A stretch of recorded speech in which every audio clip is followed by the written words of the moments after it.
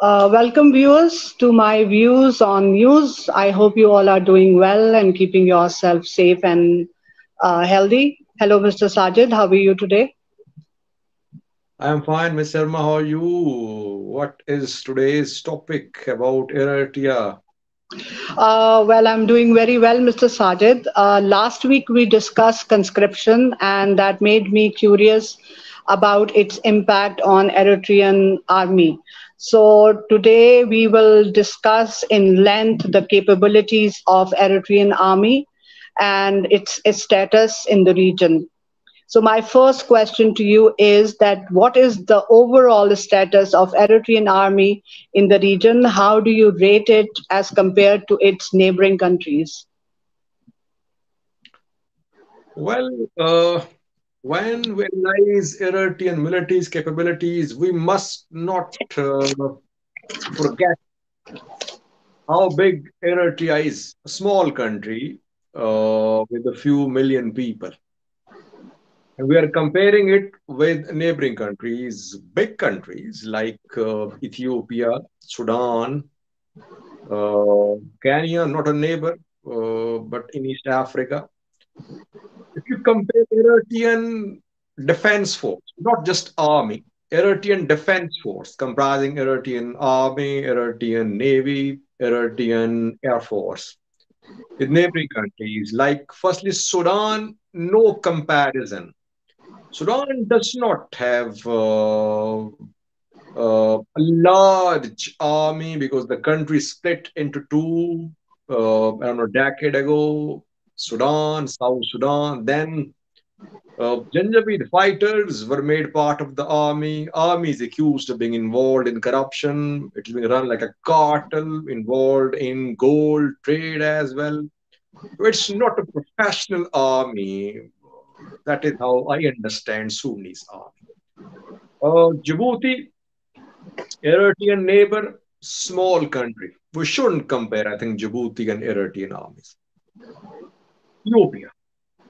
Uh, any comparable Ethiopia and uh, Eritrea, I think we can discuss that in detail. Other countries like Somalia, uh, a fractured country uh, with parts uh, under Al Shabaab, under sanctions, um, not allowed to purchase weapons, uh, and Somalia is having its military trained in Eritrea. Uh, Somalia soldiers being trained in the UK, in Turkey, so it does not have a very organized army. Kenya, uh, working democracy, but even Kenyan army is not as impressive as Eritrean army. So, uh, leaving Ethiopia aside, leaving Ethiopia aside, uh, I don't think there is any army in East Africa, in neighboring countries, which can match the capabilities of uh, Eritrean army. Um, we can talk uh, for hours about this comparison. I'm just giving you uh, uh, a general comparison that Eritrea is a much more uh, capable army uh, if you compare with the neighboring countries. Uh, well, Mr. Sajid, as you said that we need to um, uh, compare Ethiopia with Eritrea in detail, I've made few comparisons. I've collected information from different sources. So these are not exact numbers, but they are um, approximate numbers. The global ranking of Eritrea is 124, whereas Ethiopia is 65. The total population is double in Ethiopia as compared to Eritrea. But surprisingly, the total per army personals are the same 3,700,000 each. Again, uh, I'm giving a disclaimer that it's an uh, approximate number. Secondly, uh, active personnel, uh, surprisingly, in Eritrea are more than Ethiopia. They are 175,000, whereas Ethiopia is 150,000. Reserves are 200,000 in Eritrea and 150,000 in Ethiopia. So the manpower you can you can make the analysis. Now, um, I got little numbers of their weaponry as well. Uh, tanks of Eritrea has, uh, uh, they are 300, whereas Ethiopia 340. uh, AFVs, uh, Eritrea 200, 110 Ethiopia, aircrafts 33 uh, Eritrea and 90 Ethiopia, helicopters 13 Eritrea, whereas Ethiopia has 32. Uh, I got the number of total naval assets of Eritrea, which is 20, but I couldn't find much about Ethiopia. In any case, Ethiopia is like a land uh, lock. Um, so, seeing the, these numbers, what is your analysis uh, about the comparison of these two countries? Firstly, Ethiopian population is around, I think, more than 100 million, and Eritrea around 4 5 million. Uh, secondly, I think we should compare pre 2020 war Ethiopian military and Eritrean military and current Ethiopian military and Eritrean military. If you compare uh, the Ethiopian army, which existed before the start of war uh, in November 2020 in northern Ethiopia, that Ethiopian army was a strong army, built by obviously EPRDF, led by TPLF. Uh, you remember that in the second week of November 2020, Tigray fired long range missiles which managed to reach Asmara, Eritrean capital. It made back then uh, Ethiopia had this capability to strike Eritrea precisely the capital. That was pre-war Ethiopian military, and we know that uh, Ethiopia was building uh, a dam GERD in Benishangul Gumuz region. It secured some S-300 air defense systems as well. Eritrea did not have all these modern weapons uh, which Ethiopia had back then. Northern Command, based in uh, Tigray, was a strong unit of Ethiopian army.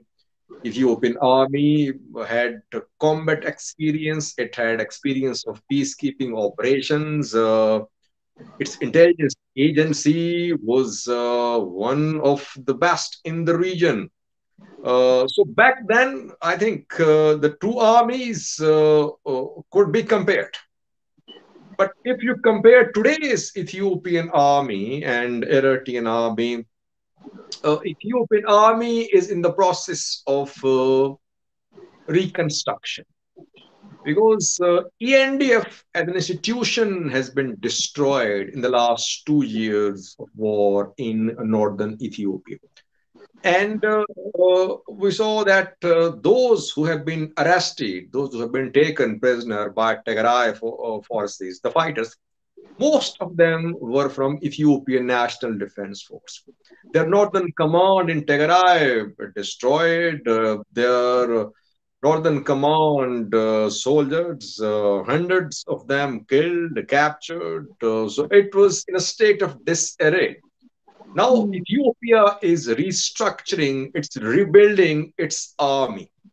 Uh, and it is doing recruitments. It has bought weapons. Uh, it has managed to buy modern combat drones from Turkey. It bought TB2s from uh, China, and the UAE bought Wing Loong drones. And the drones changed battlefield picture. We saw that uh, last year. That uh, these drones they were a pain in the side uh, for uh, Tigray forces. So now uh, I think that uh, Ethiopian army is in the phase of rebuilding, reconstruction. It has realized, uh, Ethiopia has realized that for survival, it needs to create an army without any ethnic fissures modern professional army with uh, and well equipped as well. Uh, but Eritrea, on the other hand, uh, it could not uh, modernize its army in terms of purchase of weapons. Mm. It, it, it, still has those uh, MiG and Sus of Russian fighter jets and bombers. Its uh, navy uh, has speedboats, no frigates, uh, uh, no question of having uh, aircraft carriers, obviously. Uh, their strength is their uh, army, their infantry, basically. Hmm. So every army has like you know navy and uh, uh, air force and then ground forces. Which of these is the strongest in uh, Eritrea? Well, what was the EPL, EPLF, Eritrean People Liberation Front? The group which fought uh, for years for independence. It was basically a guerrilla force, army, you can say. Uh, so they fought for years.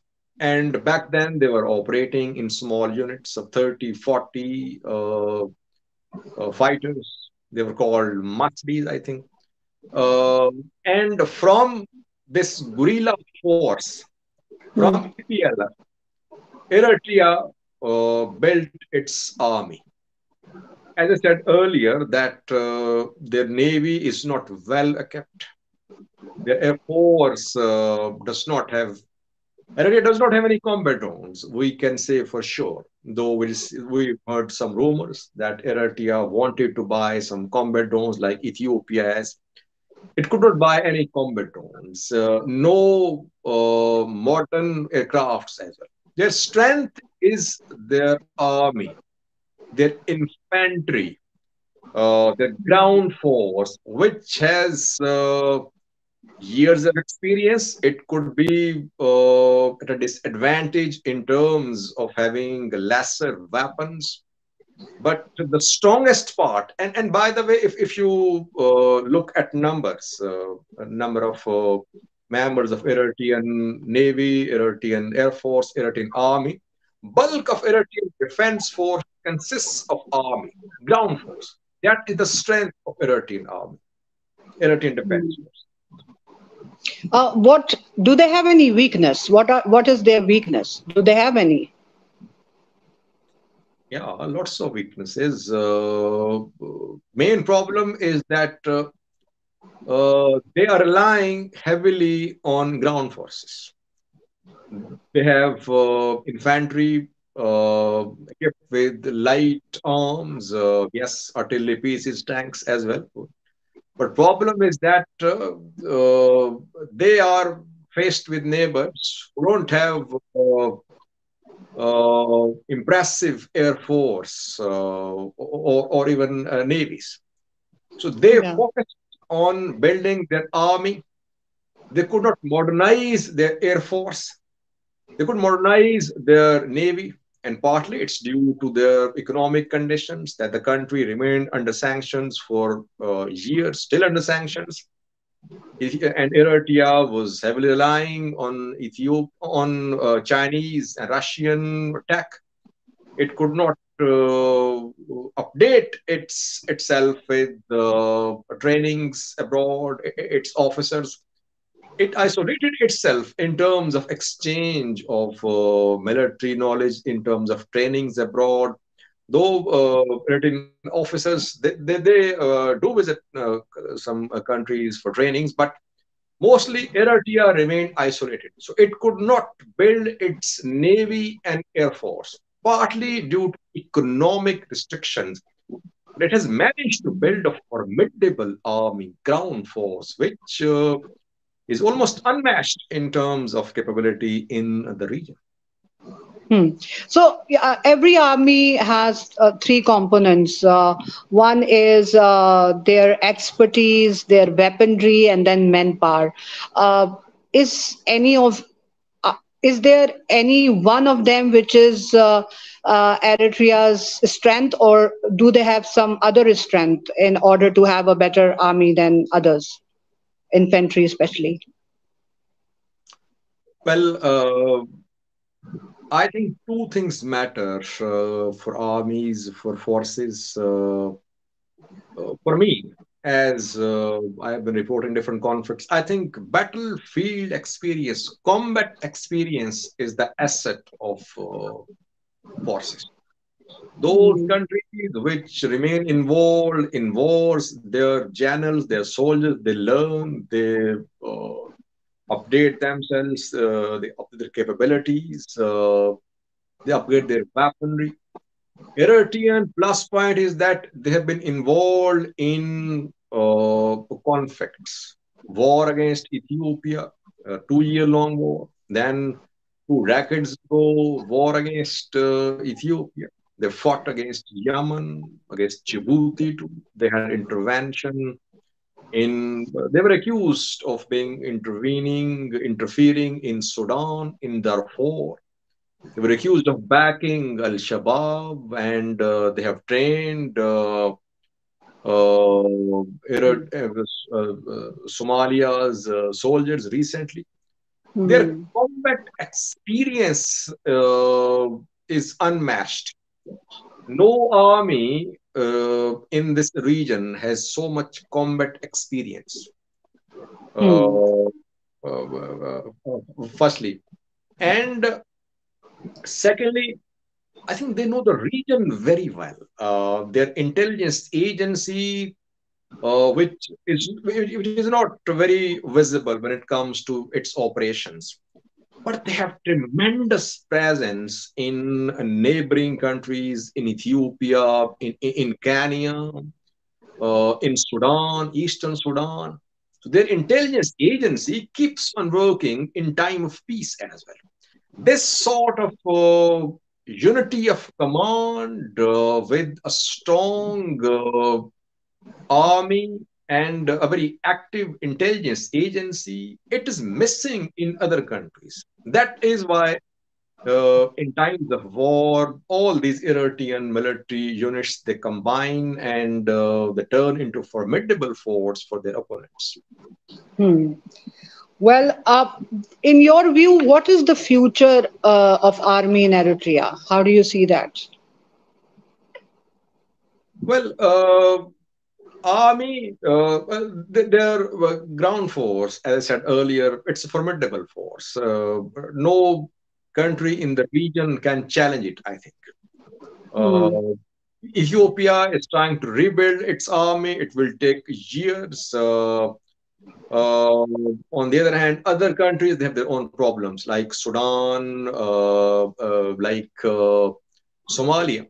Only problem is that as long as Isaias Afwerki is in power, this military will continue to be a strong military. What will happen after Isaias Afwerki? Post Isaias Afwerki scenario could be dangerous for Eritrean army as long as he's in command, uh, he knows how to lead his army. Uh, we have seen that. Uh, the army has proven that uh, it can counter bigger uh, rivals. But post Isaias scenario is unpredictable. though the army has not been built along ethnic lines, Eritrea has managed to uh, build an army on the foundation of Eritreanism. And battle-hardened army with lots of uh, tough military uh, training received by the army members. But I personally think that post Isaias Afwerki, Eritrea uh, would see fissures within the army, and then we'll see the real picture. Because mm people are now forced to uh, undergo military trainings, reservists, they, they cannot flee the country. Some are old, uh, so whenever they are recalled, like they were recalled a few months ago by Eritrean government, they had to rejoin the war. Once, once the man in power loses his his grip, or new man uh, takes uh, office, what will happen after that? Will Eritrean army continue to be as strong as it is now? I doubt that. Let's see. Well, that pretty much uh, winds up uh, today's topic. And uh, I think that, um, you know, uh, Eritreans are tough fighters. There is no doubt about it because they had been fighting for their independence for 30 years. And then uh, once Eritrea came into being, uh, they have been engaged in different conflicts with their neighboring countries off and on. So uh, in total, they have been fighting for last 60 years almost. Um, well, uh, this must have made uh, their uh, expertise uh, sharpen and uh, they must have become tough fighters. But then it has its negative impact also. What about the uh, mental health of the people? What about the emotional well being of the people? What about the economical impact, which eventually affects people in a country? Well, I'm nobody to judge. I would like to leave this uh, thought with my viewers to think about. And uh, thank you, Mr. Sajid. Would you like to say any closing remarks? Would you like to give any re- closing remarks? Yeah, you summed it. You, you summed it. Uh, summed it up. Uh, I think uh, uh, we must not overlook what is happening in Eritrea. People forced to join the military uh, women forced to be deployed in combat roles. They are not uh, promoted to the ranks of generals. Uh, then uh, girls face hard times at Massawa. So while Eritrea, Eritrean government uh, brags about a strong army, uh, it must also ensure people get some relief, Eritrean youth at least, because they're fleeing the country uh, for fear of conscription. It means something is wrong in Eritrea. So a lot needs to happen. Uh, as long as the man is in power, we might not see any change. But post Isaias Afwerki scenario could be horrific, I think. Well, uh, well, I'm looking forward for Mr. Isaias Afwerki's next interview, and as soon as he it comes on TV, uh, we'll be here for our viewers with your analysis on it. So thank you, uh, Mr. Sajid, and thank you, viewers. Please stay connected. Uh, we look forward to your suggestions. Don't forget to write us. Uh, see you next week. Bye for now. Yeah, Isaias was in Sudan, I think, yesterday in Eastern Sudan. So he might be uh, there for interview uh, in the coming week. Thank you, viewers. See you in the next such discussion. Thank you. Bye bye.